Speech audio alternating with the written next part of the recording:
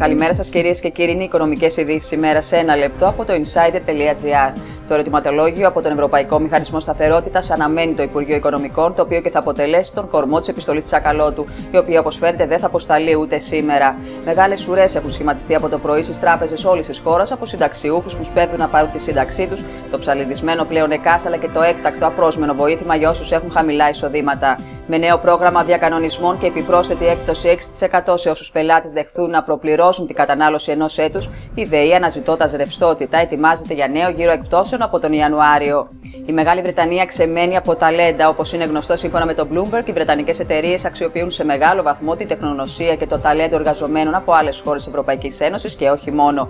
Τα όρια στη μετανάστευση, τα οποία και θα περιορίζουν τη διακίνηση των Ευρωπαίων πολιτών στη μετα-Brexit εποχή, η μεγαλύτερη απειλή για την ανταγωνιστικότητα στην αγορά εργασίας. Πτωτικά κινεί τη χρηματιστηριακή αγορά στο άνοιγμα της συνεδρίασης με τον γενικό δείκτη τιμών να κυμαίνει σε 630,47 μονάδες, καταγράφοντας απώλειες 1,40%. Σε πτώση και τα ευρωπαϊκά χρηματιστήρια. Για περισσότερες ειδήσεις στο insider.gr.